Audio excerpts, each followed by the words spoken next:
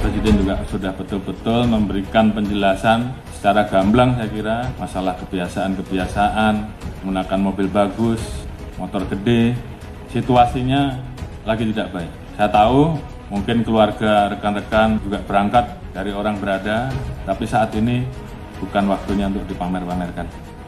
Sehingga kemudian resiko-resiko terkait dengan hal-hal seperti ini bisa dikurangi.